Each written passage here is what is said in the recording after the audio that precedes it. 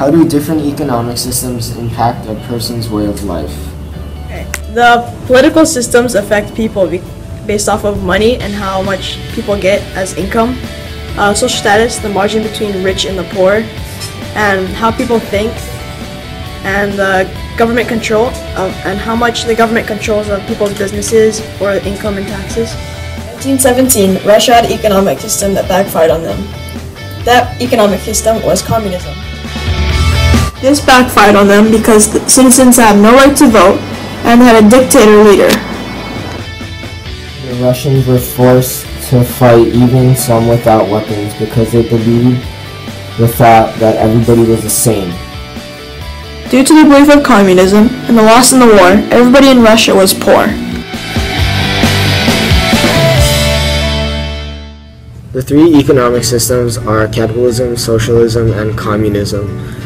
The first one is capitalism, and the best definition that I can think of is you get paid for what job you have.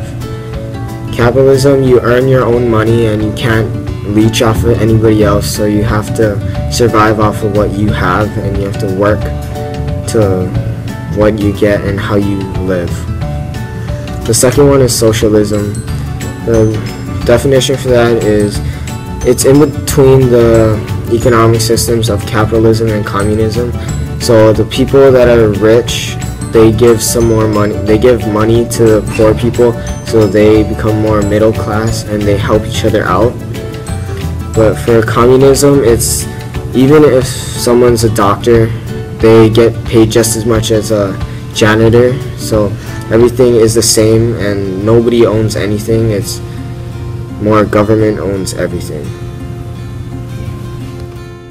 The people of the economic systems will be represented through the levels of Kawaiahaʻo. The bottom is the poor, the middle is the middle class, and the top four is the rich. Communism is like everybody at the bottom of Kawaiahaʻo, poor.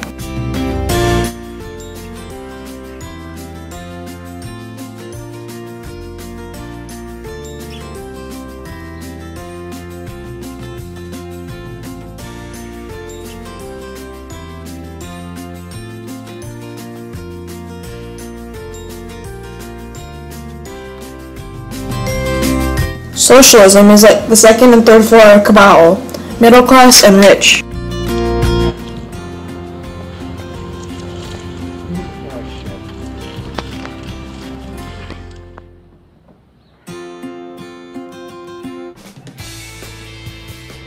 Capitalism is like the first and third floor of Kabao, poor and rich.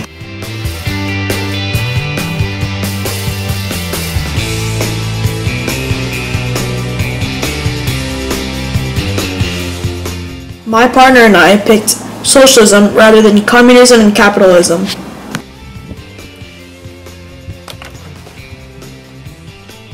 Communism is not an effective economic system whatsoever. The people that work their asses off don't get the money they deserve. Bums that don't work, they will slowly influence others that they can get by without working and just get the share amount, same share as everyone else. In capitalism, too many people would be greedy, and there would be a huge space between poor and the rich.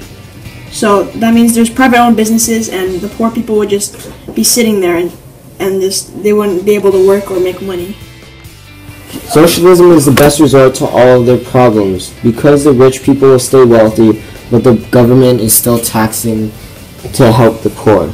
The gap of rich people and poor people will be closer together. The world can benefit from the economic system of socialism. The poor people can become more of a middle class and it will save a lot of lives. Socialism is a better choice.